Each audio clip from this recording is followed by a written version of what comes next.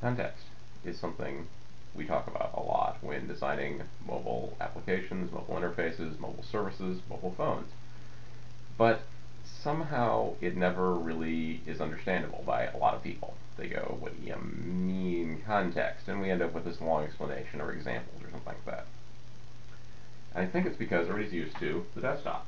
Context on the desktop computer means this window's in front and this window's kind of behind it.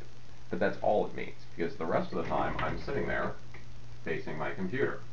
There's lights, the computer's here, the keyboard's here, the mouse, or whatever you have, is over here. So, a lot of people talk about mobile as being little glowing rectangles. But I think that frames the argument wrong, because little isn't the key aspect of it. That's, and it still makes it a glowing rectangle, just like your desktop computer screen. What's different on mobile is this. I'm walking down the street, I'm in a restaurant with my friends, I'm riding in the car, I'm watching TV, and I decide, who's that guy? I recognize him from somewhere. I don't go get up, go get a computer and figure it out, or just not do it. I can grab my phone, look it up anytime I want to.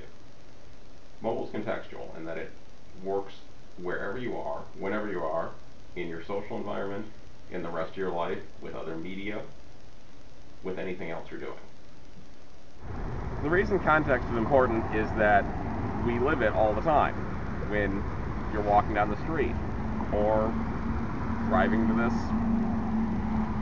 county office building, for example. So even without your phone, you can consider con- you can understand context with analogies, like driving down the street trying to understand road signs. This building behind me, behind us over here, is the um, county building where you get certain certificates and like get your new license plate and stuff. People come here maybe once a year at the most.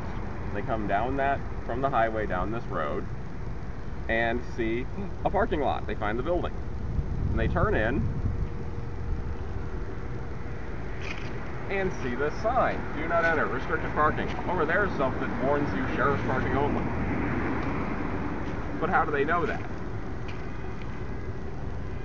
Because it's not contextually labeled. The sign's not facing down the street the way they're going. It only it's perpendicular to the parking lot because it lined up nicely, or the guys putting the, the signs up didn't think about it, or it looked pretty at the time, or something.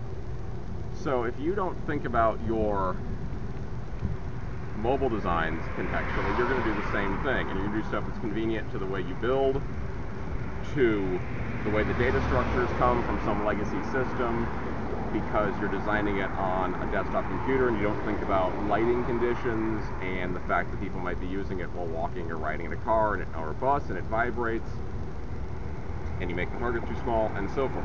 You have to consider the way people actually use their products or you'll end up with signs facing the wrong way and people turn in and panic and come flying back out.